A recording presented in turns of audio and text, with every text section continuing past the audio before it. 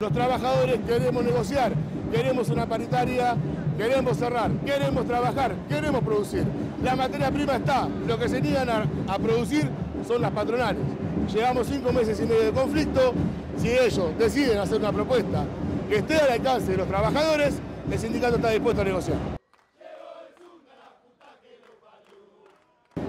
Si abre la exportación, prácticamente está matando la industria del neumático, está matando los trabajadores del neumático, está hambriando a 5.000 familias del gremio del neumático.